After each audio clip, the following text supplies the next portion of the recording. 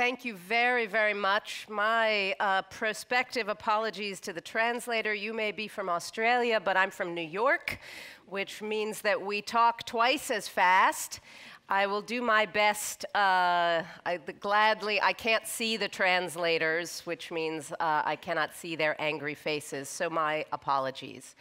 Uh, so, no Mark Zuckerberg, you're right, but uh, I want to talk and start for a moment with another big tech company, namely that of Amazon. Many of you may have heard uh, that Amazon is trying to pick a second headquarters, right? They have their headquarters uh, out on the West Coast, and they are now holding out, they're dangling the golden carrot of a second headquarters that they will build in the United States. And with it comes the prospect of 50,000 jobs, 50,000 tech jobs that will come with it. So, as a result, and a process that goes on all the time in countries all around the world, but that we don't typically see, we're being treated in the press to more openness about this process than we've ever seen before.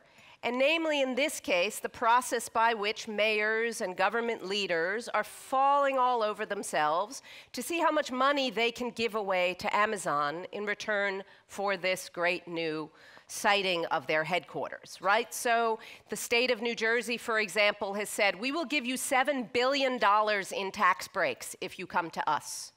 Or another city in California, which is not on the short list, they lost, said, We will not just give you money, we will give you control over the whole city. You can run it for us. That's what we'll give you back. So, this is not an entirely new idea, right? A decade ago, in the city of Chicago, there was a great need for cash and for money. And so, what they did was said, we will give over the rights to collect the parking tickets, the fees from the parking tickets and parking meters to a private company in exchange for a lump sum of cash that they needed at the time. It's been estimated that the city lost a billion dollars as a result of this deal. And now, if you've read the latest issue of Wired Magazine, you'll see about the deal that is being done between Google and the city of Toronto in Canada, the deal with uh, the Alphabet spin-off, which is called Sidewalk Labs, which would again give the company in this case authority to develop a very large portion of the city, 12 acres, called the Quayside portion of the city. But it's not clear what the city will get back in return. It's not clear what will happen to the data that's collected, and I know that the new data privacy regulation has just been passed here in Europe, and now every time I open a website, I'm getting asked permissions, thank God. I don't know what will happen when my computer goes back to the US, business as usual. But it's not clear what will happen to the data that the company is actually collecting. So these are just a couple of examples about the ways in which communities today are grappling with some of the challenges, especially challenges faced with the governance of new technologies. So whether it's going to be autonomous vehicles or next generation gene editing or smart city technologies, cities on the one hand and states and national legislatures and governments have the responsibility to act as a good steward to take care of the public trust and the public taxpayer dollar, but don't have a lot of understanding about these and many other complex issues. And tech regulation is just one example. We can take terrorism or climate change or anything else in between. We're facing incredibly complex issues, and we need better ways to address the challenges that we're facing. Right? And those challenges are going to include questions of ethics and of safety, you know, do we let the autonomous vehicle kill the grandmother or kill the five school children? Are the questions that are now getting debated. But there are questions also of revenue generation and tax policy and how we're going to recoup the revenue as our infrastructure changes. What happens to the future of jobs and job losses as, again, technology uh, creates dislocation in some sectors and autonomy and uh, innovation in others. What's going to happen with these questions of data gathering and transparency? Who will decide what data should be open and what data we should all have access to? And then there are the countless jurisdictional debates. Who's going to decide? Mul UN organizations and multinational organizations, national level, local level, or something else? All of the issues that we face, and especially those we confront using new technology, creating are creating today tremendous pressures and challenges for governance. Now, there's a whole new school of thought which says that we need to go about regulating new issues in a different way than we've done before. Not top down with command and control style regulation, but using what my friends at Nesta call anticipatory regulation. And you can take a look at the work that Nesta does, or Dark Matter Labs, or other folks who are writing about the need to create regulatory systems that are more evolutionary, that are more decentralized, that are more iterative. In other words, a process by which we place less burden on new technologies and on the companies that create them. And at the same time, create greater protections for consumers and for citizens because we're more evolutionary and more flexible in our approaches. But to do this, to affect this kind of change, to have what we might call green lights instead of red lights in terms of our regulation, helping to promote innovation rather than to stop it, is we need governance processes that are going to be more inclusive. At the very least, we need people who are more tech savvy, who are more scientifically savvy, who have expertise of different kinds to help us respond to our challenges, be at the table, so to speak to be participating in the conversations about how we respond to today's challenges. And that means that we need to use these very same technologies, not to regulate, it's not just the regulation of the technology, it's using the technologies to change how we regulate, to transform democracy and to transform policy making and decision making in order to allow us all to participate in new ways so that we can legislate not only more legitimately, but also more effectively. So, what I'm here to talk about today is what I see as being the next generation beyond e governance in what we might call e participation. It's both something we've been doing for a long time, and I think something that's profoundly changing and will change in the next few years in order to enable us to confront the challenges that we're facing. What we're doing now in terms of largely closed, largely top down systems, I would put to you is not working. It's not working as well as it ought to, it's not as agile as it need to be, and it's not allowing us to get the expertise and innovation and data that we need to make decisions more effectively. But the growing field of digital democracy is becoming more sophisticated, surely more sophisticated than it used to be. When I started working for the Obama White House in 2009, this was my desktop. In case you can't read, that says Windows 2000. It has been slightly upgraded since then, but uh, I'm not sure by very much. Right, there is this feeling that we're behind when it comes to government in terms of how we use technology.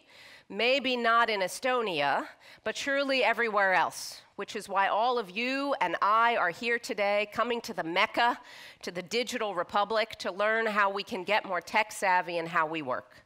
But even with the best tools, even with plenty of technology, the process of engaging with people is still very difficult. It's not something that we've known how to do very well, even when we have the tools.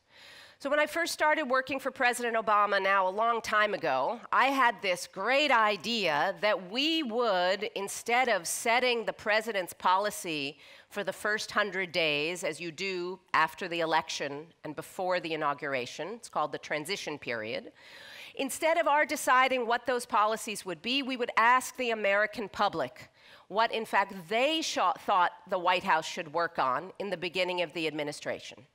And so we did. We asked people. And not surprisingly, they responded. We got, in fact, 84,000 comments, 84,000 comments in the space of about three weeks. And you know what happened to those comments? What happened to those comments? Nobody read them. Of course not. Who can read 84,000 comments? What a terrible idea to do such a thing. I mean, they made a nice photo op. Here's the photographer right there. Here's the book. We printed all the paper. We handed it to the president. Look, the people said. But nobody read any of this stuff because we weren't set up to be able to do so.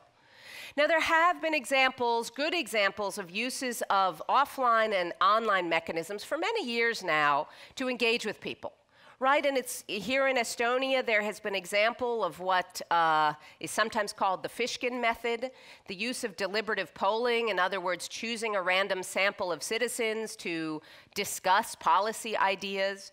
But there's two challenges with this as a general rule. One is it's very, very small. And two, two, is it's very expensive. And three is it doesn't have much impact on actual decision making. The Fishkin method was set up as a social science research tool to measure how people change their mind. If I talk to you, my neighbor, it's going to change my opinion, and we can see how my opinion changes. It was never designed to be a tool for making policy in more effective ways. The Jefferson Center out of Missouri has been for a long time running something called the citizen jury, used extensively in Denmark to debate science policy, especially things like GMO policy. Again, very small representative samples of citizens to help build legitimacy in terms of policy making, but not necessarily greater effectiveness. Some experimentation now, especially after the rather failed GMO policymaking by the European Commission a few years ago, to say we can't do this behind closed doors anymore. We actually have to engage with people. We have to experiment with the idea of crowdsourcing or engaging with wider numbers of people to actually think about how we craft our policy. And there are examples now of using online tools to get people to do more than simply share their ideas or opinions, but to actually get people to work together. So in Mexico, they've, this was a short project that this lab for Mexico City did, was to get volunteers to work together to create a map of the unofficial van system in Mexico City. They already had a, uh, an app for the subways and for the buses, but nothing for the informal transportation mechanisms. So they crowdsourced it, and of course, people responded, and they built the map very quickly.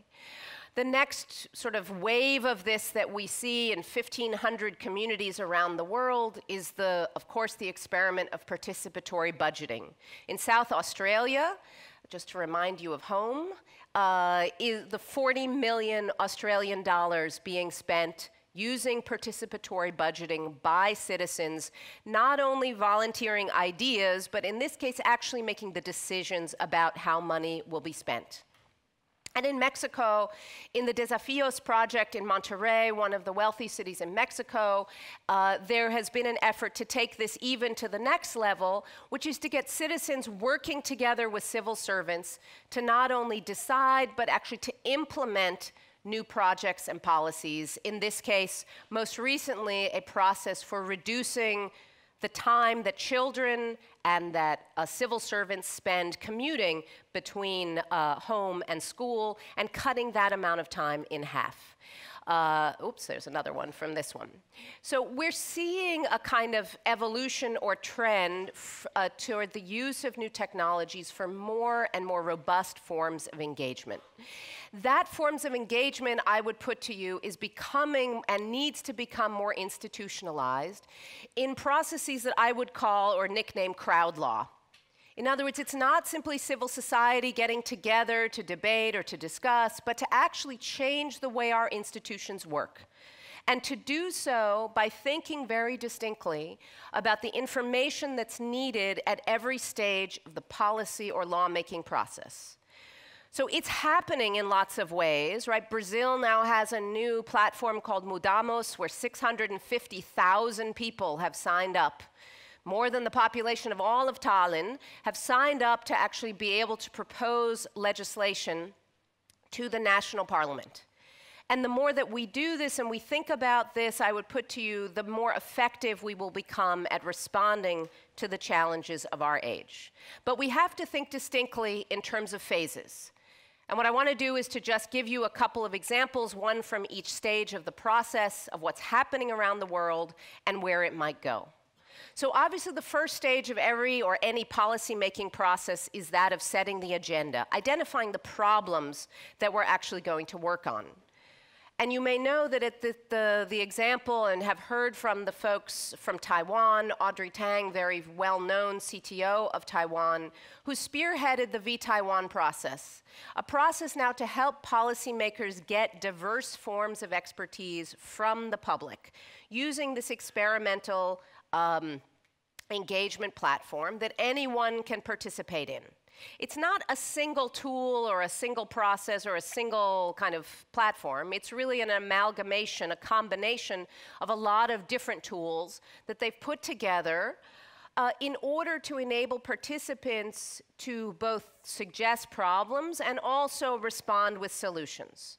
And let me say that what's, I think, important to note with all of these is that very often they put together problem identification, solution identification, implementation in ways that often muddle muddle the process and cause some challenges. But vTaiwan is a very, very hopeful process. They use a combination of offline and online processes. They use artificial intelligence software called POLIS, P-O-L.is, machine learning software that helps sort the comments that they get so that when you get 84,000 comments, you can actually make sense of them and group them in more meaningful ways. It allows citizens to create working groups uh, with civic groups and businesses and government leaders who are brought together again to discuss problems and then work out solutions. And in the case of vTaiwan, more than 80% of the projects, of the cases of consultations that have gone through this process have actually led to government action, and to government action that has been very much driven by solutions created by citizens. It's an entirely open community in that anybody who shows up is part of the community, whether or not you live in Taiwan. So right now you may not be allowed to be on Facebook, but you can go on to vTaiwan if you like and participate in an online consultation. And it's a wholly volunteer process and project, which allows for this kind of direct citizen engagement. 200,000 people have participated. But again, there are limitations here because anyone can participate does not mean everyone can participate. And there's also the challenge, again, that in this case, uh, the process of identifying problems, something which should and could be done with large numbers of citizens, is often circumscribed to a very small number of civic technologists who are capable of participating in the whole process as it's currently laid out. There are new, there is another kind of generation, though, of tools that we're seeing that are not about helping institutions identify problems from people, from collective intelligence, using uh, communications tools, but more about using artificial intelligence and big data to help mine social media and other sources of data to identify the problems that people care about. So you may have seen this Erasmus experimental pilot, which is a social media mining platform for European policymakers to help them understand what is it that young people care about and are talking about. So even without creating a complex consultation process, they have been able to train an AI algorithm to filter out relevant algorithms that are connected to subjects of youth concern, like youth mobility and youth jobs that are making it easier to listen to and set the agenda based on what people actually care about. Now, this is and needs to be distinct from the process of identifying solutions. And in the case, in a project that many people in the room will be quite familiar with, a project that started in Iceland and migrated here, of course, to Estonia, there is this, there is this Better Reykjavik project. It too combines identifying problems with identifying solutions. So this project that you may know of, which grew out of the banking crisis and the loss of trust that happened in 2008, was a way to harness the creativity and innovation of broader society to come up with ideas through idea generation and what they call policy crowdsourcing to improve the delivery of services and the operations of the city of Reykjavik. We can make all those services digital, but we still need ways to hear back from people what it is that they actually care about. In Iceland, 20% of the population has, is actually registered on the site, and half of them use the site regularly. And now it's in use in 20 countries. And as many people in the room are already familiar with, but I give this for the benefit of the non Estonians in the room, in 2012 there was an experiment run, the Rahvakogu experiment, to bring this process to Estonia and to actually then, in that, in that case, also offer a platform uh, within a three week period that 60,000 people took part in to come up with ideas for amending Estonia's laws on political parties and political financing. Uh, as a result of that process, three of the initiatives that were proposed have actually been implemented into law, four of which have been partly adopted as policies, and has led, more importantly, now to an ongoing process of citizen consultation and citizen proposals that have been used, that are that it's still in place today. However, the process also uses uh, artificial intelligence. This Active Citizens or Better Reykjavik platform uses artificial intelligence, again, uses machine learning to identify whether proposals conform to regulations, to send notifications to people on relevant issues, to give users recommendations of content. In other words, using artificial intelligence to make the collective intelligence more meaningful. But let me breeze through the last couple of phases. There is, of course, the next stage, which is one that's more difficult and where consultation is not as frequently used, and that is the process of actually drafting. So we've identified the problem, we've come up with a number of solutions, but then we actually need to write something. And that's a process where, again, it's typically done behind closed doors because it requires a higher level of commitment to the process, potentially some legal knowledge or knowledge of technical processes, but in which it has been possible in a variety of places, including Brazil and in France and in Morocco, to engage people in crafting the draft itself as a way to introduce new ideas into the process, as a way to build better legitimacy to the process. But if it's done poorly, as Tarik Nesh-Nash will tell you about Legislation Lab in Morocco, if you simply set it up to say, What do you think of the draft? people will tell you what they think of the draft, such as telling you, This is crap, this sucks, and all the useful comments we tend to get on listservs and discussion boards that are entirely unhelpful. So they have to be designed well. They have to be designed in a way to get at people's concerns, but in a manageable and meaningful way, using constraints in the design to actually get people to participate successfully, as they did in the case of Brazil. Implementation is equally hard. How do we translate a grand principle or an idea, a solution, into actual practice?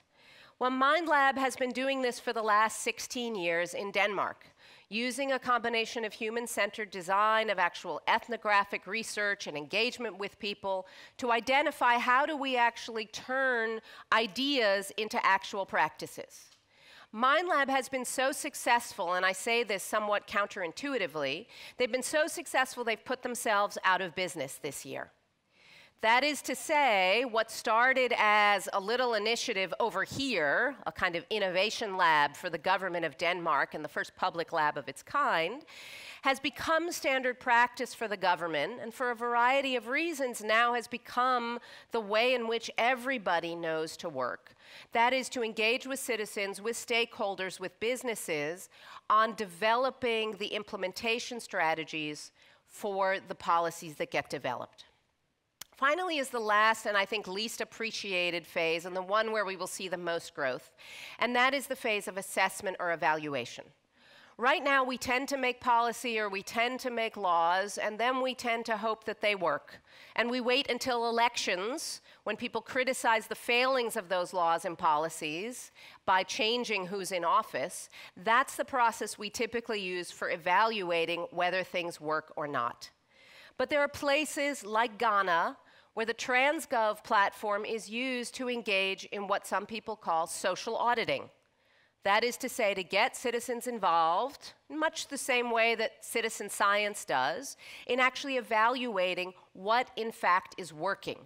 Is the policy we've set up, such as the law passed in Brazil to guarantee children a healthy school lunch, and then asking children to take pictures of their lunch and send them back to determine is it actually working? Or in a simpler way, in Chile, in the Senate, they have a concept called evaluación de la ley. We're actually going to evaluate the law by having a facilitation process where people sit together around a table to determine if the law is actually working or not.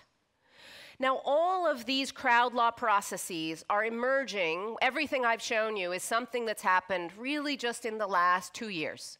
This is very new stuff. The idea of citizen consultation is old. The use of technology is, is, is not all that new, but the formal uses of these processes are really very, very new. And we have very little understanding of what works or not at these, each of these different phases. How are individuals affected? How is society affected? How are these institutional processes actually affected? In Madrid, I can tell you where they have a platform called Decide. Whoops, sorry. uh, I'm, I'm sort of nerdy at heart. It's amazing I haven't fallen off the stage yet. Uh, they have a platform called Decide. They have 200, 400,000 people, excuse me, registered on the platform currently. Let's hope I get the number right. 20,000 proposals that have actually been made to the city council to change how they, you know, to propose a law, to change how they do things. Fantastic new participatory idea. How well do you think it works? How many of those 20,000 proposals have actually become new laws? 800? You are, thank you for guessing that and making me look good. Incorrect. Guess again. 20, he's, he, you're, I, I could have paid you. The answer, of course, is zero. two of them have, I heard the two, two have moved forward to the next stage of consideration, but actually zero have actually led to anything or becoming, have become a law. And so Madrid has correctly said, what's not working here? We have this fabulous direct participatory mechanism in a day in which, you know, people are clamoring for more impact, more ability to have influence on political processes. Why is it not actually working? Well, the policies are very, uh, don't take a picture of this. Uh, the policy, here's my, here with my face here. Uh, the policies are of great interest to people. The number one proposal is about dog poop. There's a lot of proposals about dog poop in Madrid. So that's the number one data point. But they're not working. We're not getting new laws on, do on dog poop. And the question is, why not? Well, Madrid has rightly said, we don't know. Now, if you went to this website right now and you looked at it, you would say, oh, I know what's wrong with it. This button should be here and this should be there, and I'm smarter about how to design it. But they've correctly said, we don't understand and we don't want to guess as to why the proposals aren't getting signatures. So we're going to start a process of experimentation this summer to actually test what's not working. So, in the same way that right now you're on Amazon or Facebook or Google or whatever you're on, and you are being experimented on, right? You see one shade of blue link and you see another shade of blue link, and for you the button is in a different place than it is for me because they're experimenting on us to sell us more advertising and products. We can do some of this experimentation with these platforms to understand how we can actually make these processes better than they are today. I've written a little bit in Nature about this idea of more experimentation in the wild, more uncontrolled experiments, if you will, that we have to do to understand why and how these processes can be made more effective. We need mixed method research, qualitative research, quantitative research, randomized control trials, as they're going to do in Madrid by dividing the people on the website into different groups, showing them different messages, seeing what influences people to participate, again, with their knowledge and with their consent, I might add, in experiments that are fully transparent, to understand how we can actually make these processes work better than they do today. Some of them are really, really good for suggesting ideas, for suggesting problems, but they fall apart when it comes to designing solutions. And they're surely not very good at designing complex implementation processes, and even worse at actually evaluating what happens. So, what I would put to you is that we need more experimentation in this space, more people in government to be trying more crowd law processes, more online engagement, but also more research, collaboration with local and international universities, with tech companies and others, to really figure out and how to do research. It's often called this Pasteur's kind of research. It will advance our knowledge about the state of engagement but it will also at the same time hopefully advance the cause of democracy and enable us to solve real problems, to design better approaches to autonomous vehicles, reduce the traffic that we have in our streets, respond to climate change, and really solve hard problems in new ways. So, with that, I want to wrap up and simply say that we are, thanks to the availability of new technologies, on the cusp of potentially new forms of and reinvigorated forms of, dem of democracy in ways that we have not seen before. We have the ability to create new forms of direct democracy where people, with the push of a button, can actually vote on things that they have never been able to vote on before. Not once a year, but more frequently. So we have to ask ourselves is that a good thing? And when is it a good thing? There are new ways to engage in deliberation, for us to talk to one another, to our neighbors, to other stakeholders, not simply based on geography, but all around the world, to engage in conversations that can again help us to explore innovative solutions to hard problems we can engage in what I would call more collaborative democracy, actually, engagement across sectors that allow us to work together to develop solutions even to hard problems.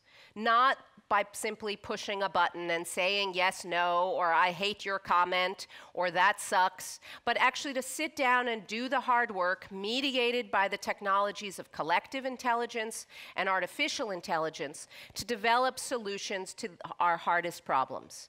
Collective intelligence will play a role, artificial intelligence will play a role in helping to make these processes manageable and meaningful in ways that we have never been able to do before. And let me say that I think we have to do this. Annual elections, biannual, semi annual, every four years, it's not enough to safeguard our democracy. There are countless critics today, and I think we all feel the sense wherever we live that liberal democracy may be somewhat in danger. And surely, where I come from, we are concerned that, we, that liberal democracy is under assault economic dislocation, the power of social media, the rise of populist leaders in so many places, the election of people who lack respect for basic constitutional values and the rule of law are, need to cause us to question the safety of our democracy. And surely, if you're in a place like Estonia, where we're celebrating 100 years of Estonian independence, but the country was founded in 1918 and it was independent for exactly one day before it then was taken over by a series of occupiers and was only recently, for 25 years, has really only recently been an independent democracy. Perhaps no better place than here to acknowledge the fragility of these political systems and to recognize that we have to do more. We have to build our own version of the Baltic chain. In 1989, you may remember how two million people from Latvia and Lithuania and Estonia held hands and showed the world that freedom and independence were possible and that people were demanding it. We now need our virtual Baltic chain. We now need to create the bulwark, the institutions, the platforms, and the processes that allow all of us to participate in, the, in our institutions. Thank you. Thank you very much, Beth. Does anybody have any questions while Beth still has a few moments up there on the stage? You put your hand up and we'll come over to you. Lovely. We have a gentleman over here. Where is my help? We'll get into the microphone. We'll speak into the microphone. Go around the back. Uh, we'll speak into the microphone so the uh, translators can hear the question too. Yes, hello. Uh, my name is Jeremy Miller from Denmark. Uh, not working in the Mind Lab, but I have been working with them.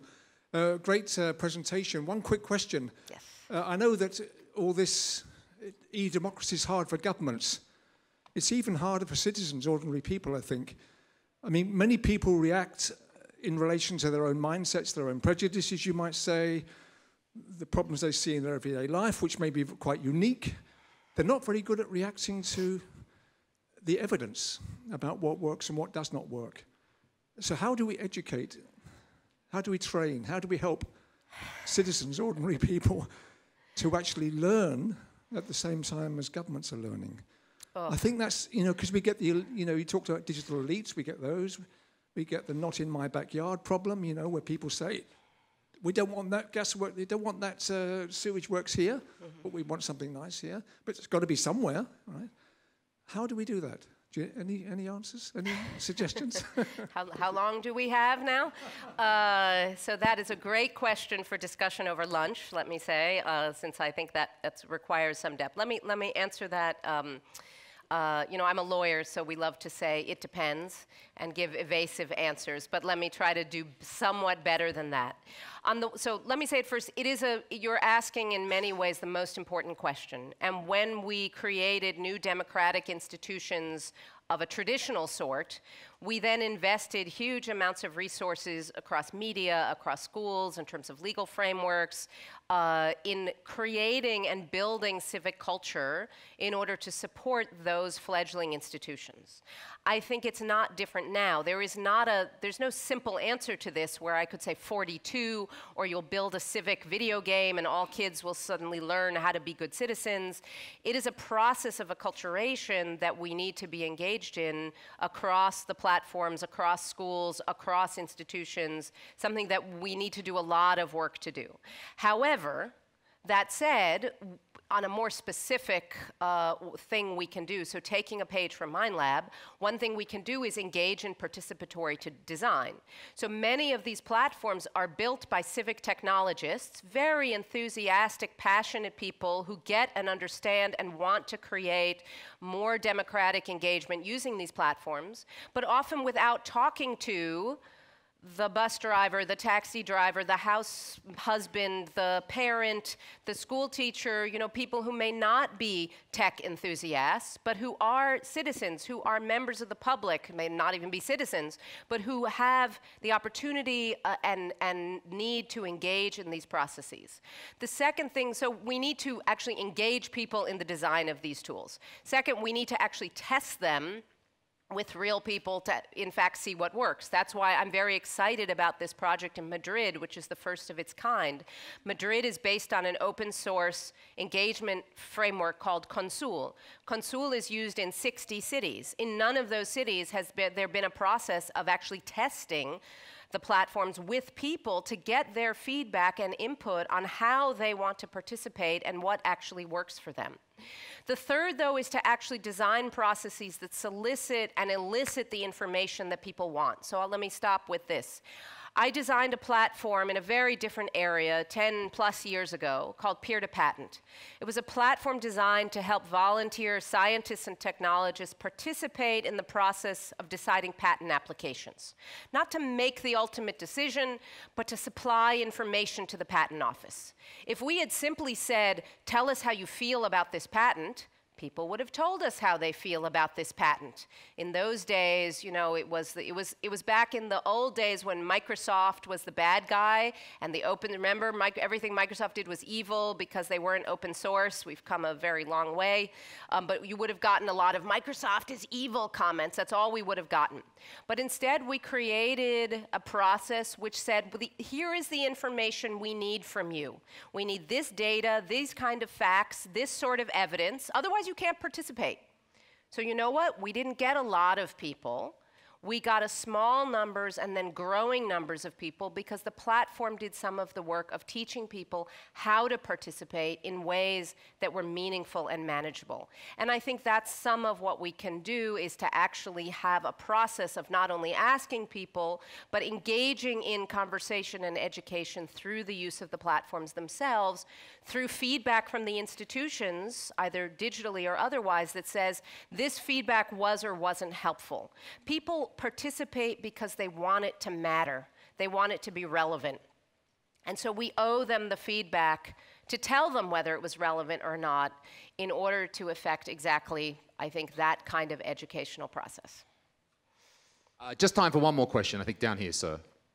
Um, hi, Gareth McNaughton, RMIT in Barcelona. One of the things that I'm challenged by is the direct democracy. We're used to representative democracy, a level of confidence that we outsource to representatives of the people that we elect to act for us in our interest for four years. Most people don't want to be engaged. That, that's the, I, I love IT. I worked in HP, Cisco, I worked at the Commission. But I, I, after many years of working in it, Consul in Madrid is because there's 800 members of the Parti Popular who have been judged and condemned for corruption. It's exploding all over our newspapers. That's why Consul's there. There's a cultural, social context. In Sweden, they won't have the same background to that, but they'll still want to be engaged. So my concern is that are you saying direct democracy and more engagement will solve all of our cultural, social, historical issues? Is it going to be the answer? Or are we going to see different things emerging in different countries? So it's a, uh, so a fabulous question, uh, and I would, and let me make very clear that to me, direct democracy is, uh, what is the opposite of the answer? Probably is, is short of, short of the kind of corruption and venality to which some of this was a response, it's the worst possible solution. I am deeply afraid that the way that we are designing these systems, in other words, the preference for these push button systems, or even worse, my dear friend Cesar Hidalgo at MIT has said not only should we have these push button systems, but we should get rid of human beings. We will train a bot to know your preferences and to vote for you on everything. So we will have artificial direct democracy. Uh, he gave a TED talk about this. I think this is a nightmare of a scenario. For the, but what I mean by putting up this list here is to say that you can love technology all you want. It doesn't substitute for a very hard conversation about what is the future that we actually want. And you are right that in the Spanish context, there are a lot of reasons why the public wants to have some ability to influence the political agenda in a way that has not been possible to date. And the context there is very different than it would be somewhere else.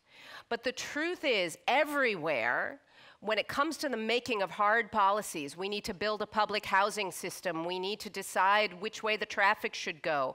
These are not things that we can or should vote on by the push of a button. We can also do that at the end of the process, but we need to be engaged in much more thoughtful ways that actually tap into our ability and our expertise to develop innovative and effective and workable solutions. What's so exciting to me about Desafios in Mexico or um, uh, Revolucion CR in Costa Rica, which was one of the slides, or even the vTaiwan process, is that these are designed to get at hard and difficult thinking from real people but who have knowledge to share about how to do things better and differently and to solve problems.